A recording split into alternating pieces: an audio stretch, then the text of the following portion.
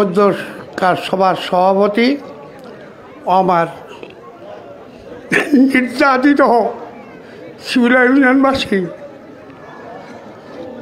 সবাইকে আমি জানাচ্ছি মুসলমানদের জানাচ্ছি, ভাইদের জানাচ্ছি সালাম, হিন্দু ভাইদের জানাচ্ছি নমস্কার। পর্দার আলে আমার যে সমস্ত মা বোনেরা আছেন, তারা সবাই আমার স্নো আসি আশিস নেবেন। আজকে ভারাক্রান্ত মনে। এই পথসভার সর্বপ্রথম কথা বলতে হচ্ছে, আমার সত্ত্বেও শিক্ষক বাবু খাতিরচন্দ্র পাথারের কথা আমার স্মরণ হয়। যাই হোক, এই সবার যে আয়োজন হয়েছে শুধুমাত্রই নির্বাচনের জন্য, তাছাড়া আর কিছু না। দীর্ঘদিন এই ইউনিয়নবাসী বিভিন্নভাবে নির্যাতিত জর্জরিত।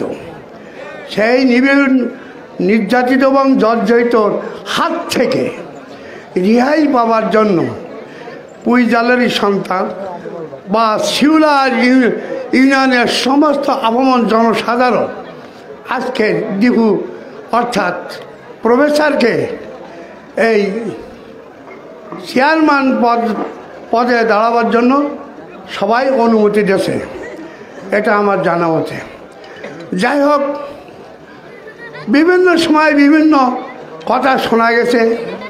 আমাদের বর্তমান যিনি চেয়ারম্যান আছেন, সেই সুনামধন্য বারবার স্বর্ণপ্রাপ্ত চেয়ারম্যান।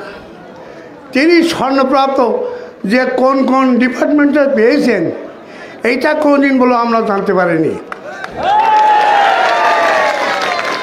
যদি তিনি দয়া করে প্রশ্ন রেখে যাচ্ছি, উনি কোনো জনসভায় কোন কোন ডিপার্টমেন্ট থেকে স্বর্ণপদক পেয়েছেন একটু বক্তৃতা দেবেন জনগণের সামনে।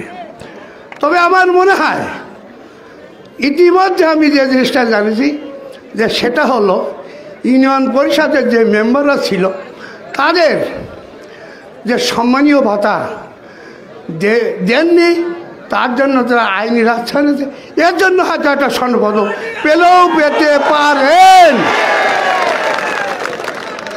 অতএব অল্প সময় সবুজ বাতি জ্বলেছে, লাল বাতি জ্বলবে। আমি বেশি কথা কিছু বলব না। আপনাদের কাছে বিনয় ভাই অনুরোধ, পাঁচ তারিখ পর্যন্ত যেখানে পথসভা শোভাযাত্রা যাই করেন না কেন কোনো আবৃত্ত নেই। কোনো গোলযোগ খেঁচাখেঁচি করবেন না। এই অনুরোধ রেখে আমি আমার সংক্ষিপ্ত বক্তব্য এখানে শেষ করছি। খোদা বয়স বাংলাদেশ জিন্দাবাদ। প্রফেসর প্রফেসরের হাত সওয়াল করুন, প্রধানমন্ত্রীর হাত সওয়াল করুন, শক্ত করুন। এই অনুরোধ দেখে আমি বক্তব্য শেষ করছি। ধন্যবাদ।